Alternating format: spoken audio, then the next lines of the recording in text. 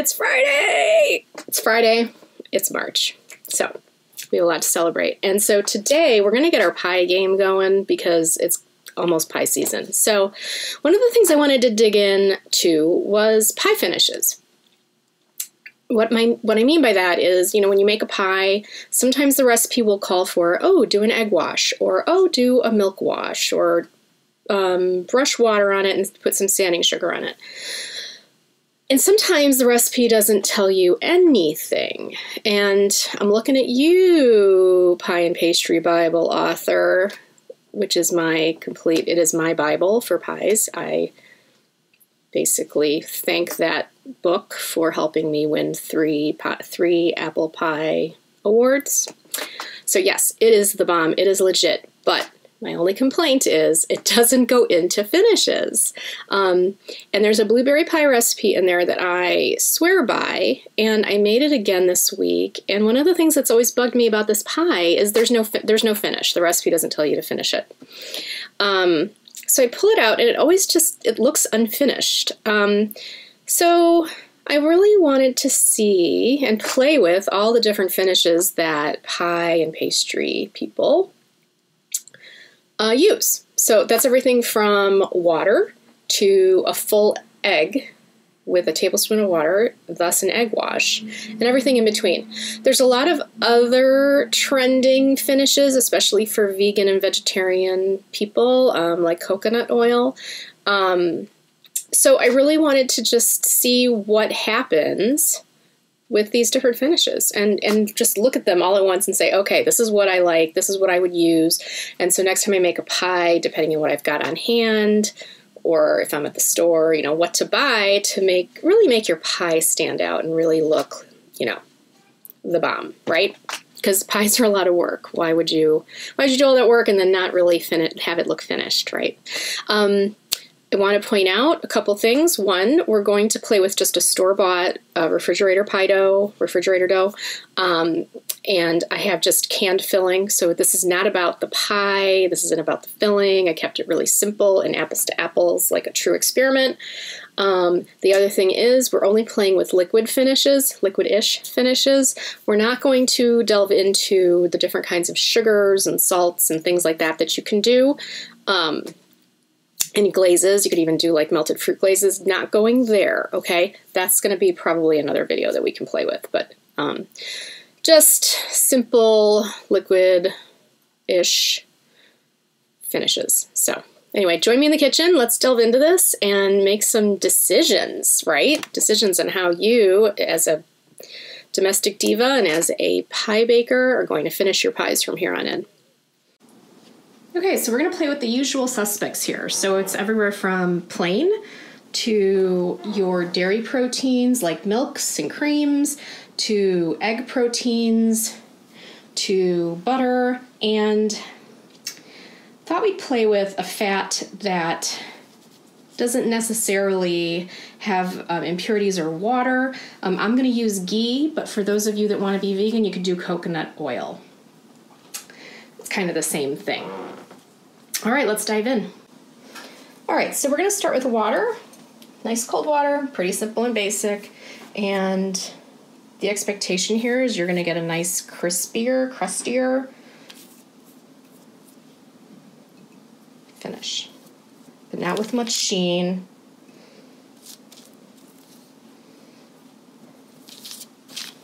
Now, butter is a favorite among pastry chefs. But one thing to note butter has impurities in it, water and other things. So, what, what tends to happen, and we're going to see if this is true, is that kind of the butter fat separates from the water as it bakes, and you get more of a, a speckled browning where the little um, pockets of fat end up settling. We'll see if that works. Or we'll see if that's true to combat that speckling with the butter, this is where I thought a more pure fat could be interesting, where a lot of the impurities have been taken out. So this is ghee, and you know, I could melt it a little bit more so it's not so clumpy. But let's see if a ghee, or like I mentioned earlier, um, coconut milk, gives a more even browning than butter, but you still get that rich golden look from what a fat can um, can do. All right, we're gonna go meander onto the other side of the baking sheet. Okay, so we're going to have a difference here between milk and cream, and what I decided to do was get a reduced fat milk just so we can see the difference a little bit more pronounced between the cream and the milk. Obviously, it's going to be a difference in fat content. And the reason why I went with lower fat milk is because usually that's what most Americans have in their fridge. So if you're just whipping up a pie and you just have some reduced fat milk on hand because that's what you're giving your family, let's see what that does. And then on the other side of the spectrum is some really rich, heavy cream. Talk about butterfat. It looks like it's starting to be cream already. So, let's see what kind of finish we get with heavy cream. If it's too thick for you, you can always just dab a little bit of water in here.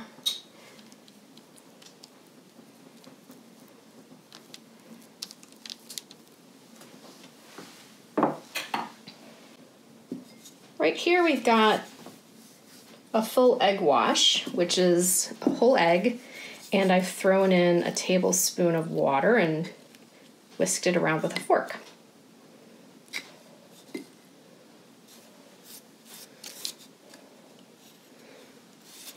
Now, the theory here is the protein in the egg yolk gives it a really nice golden color, and the thing with the eggs really gives it a nice shine and glaze to it. So let's see if this is true.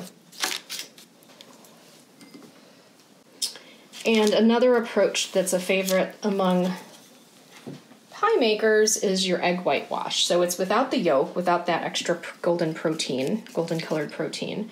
So same thing, I've whipped an egg white with a tablespoon of water. And you just kind of glaze it on. The nice thing with the egg washes in particular is they're really great for finishing with sugar, sanding sugar.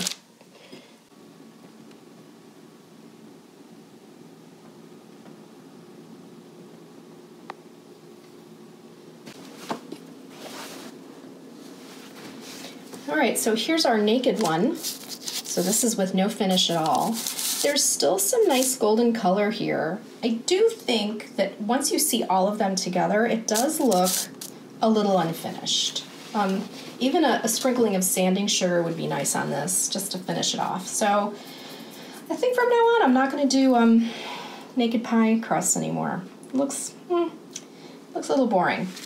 All right, so let's move on over to our cold water, which definitely gives it a nice um, some crisping up of the crust. I don't know if you can see a little bit of that that flaky bubbling on the dough. See that little bit of bubbling right there? So it does crisp up the crust, probably giving you a, a nice flaky texture.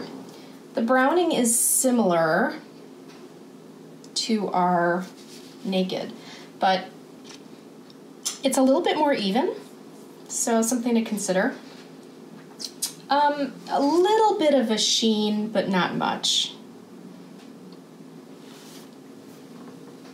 But definitely better than going plain, in my opinion.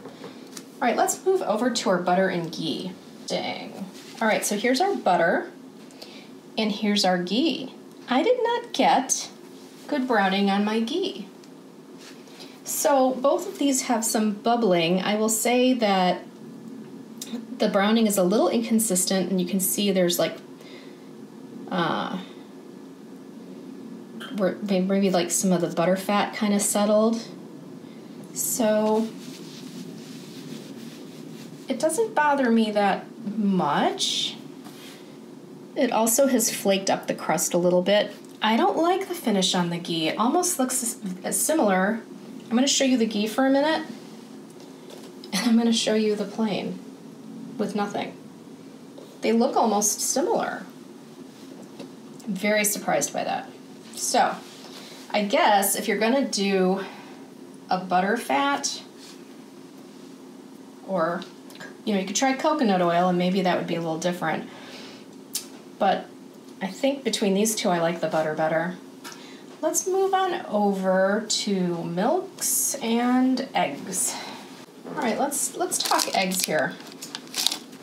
Now you can see that the difference with the egg compared to what we were looking at before with your butter is the shine. There's definitely a shine to the egg. This has a full egg wash, and this one was just the egg white.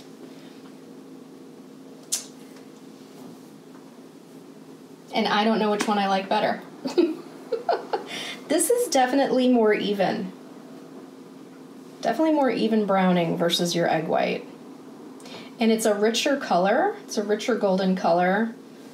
Um, and it seems to have flaked up some of the crust a little bit. So my guessing is the flavor is probably better here. It's got more of a richer flavor. I do like the shine. I like the finish there. It looks like a finished pie. Might be overkill for some pies, but it's awfully nice. Okay, so now we've got the 2% milk and your cream. Now there is a shine, it's very, very subtle, but there is a shiny finish, especially to the cream one. The milk one is a little more dull. The milk one looks a lot like like the water, except that you can see some some flaky activity happening to the crust with these fats. So you're getting a golden color similar to water, but the crispy, flaky stuff from the butter, the, from the milk fats, is uh, doing some some nice things. I will say the cream has more of a shine to it and a more even browning. My guess is if you went with whole milk here, you get as an even browning, more even browning than the 2%. Because the 2% probably has some water in it that's separating out the fat so, um, more fat, the better. Imagine that. well, I don't know. What do you guys think? Tell me in the comments what you guys prefer, or if there's a certain finish that you guys you go to that I've not tried.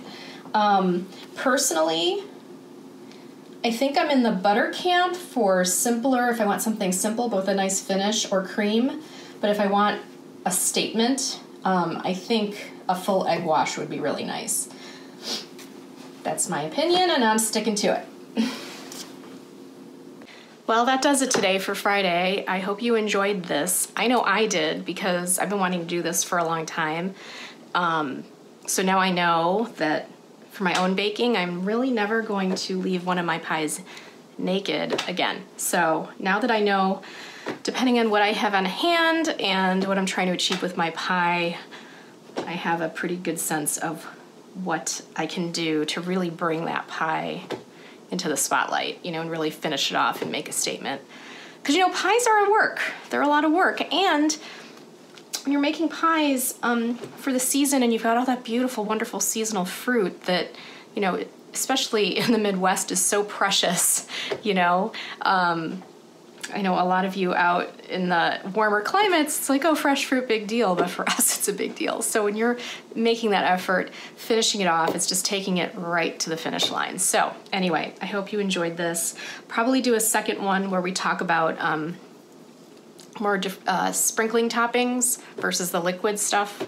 Um, anyway, thanks for joining me. I do want to do a shameless plug for me on the Great Grow Along event. For those of you that are um, into gardening, and many of you probably took up gardening in 2020 during COVID, um, and you want to up your game a little bit, come join me and many, many wonderful experts and influencers, plant people at the Great Grow Along event. Um, go to thegreatgrowalongevent.com and sign up, get tickets. Um, and it's basically a three day festival of gardening and geared to novice gardeners, but definitely expert gardeners will learn something.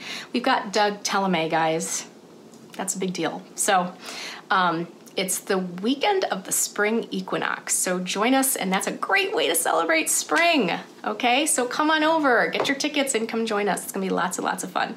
So, what's the date on that? Let me see. Oh, March 19th, 20th, and 21st. So get your tickets before then. Okay, so that's my shameless plug. Anyway, get baking, and it's almost pie season, so get your pie game on, guys. Anyway, stay safe, stay well, and please subscribe below before you leave me, and have a great weekend and rest of the week next week. Bye.